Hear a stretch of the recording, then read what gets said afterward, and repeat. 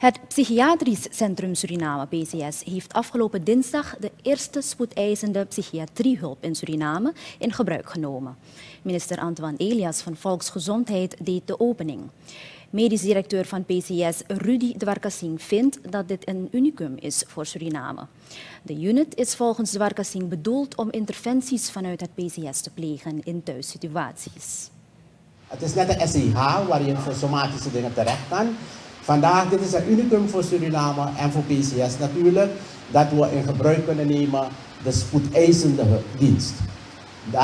Dat, is bedoeld om interventies vanuit PCS te plegen, meestal in de thuissituatie, waarmee de patiënt sneller en makkelijker in de eigen omgeving geholpen kan worden. Dit is een unicum medisch directeur van het Psychiatrisch Centrum Suriname, Rudy Dwarkasing, afgelopen dinsdag.